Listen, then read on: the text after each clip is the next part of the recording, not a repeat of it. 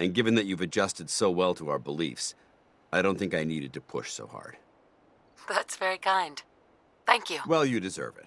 When I was an initiate, my sponsor was Paladin Krieg, toughest squad leader I ever served with.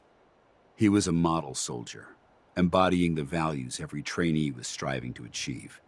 Fiercely loyal, secure in his beliefs, and brave to a fault. From the moment I was assigned to his squad, I was singled out.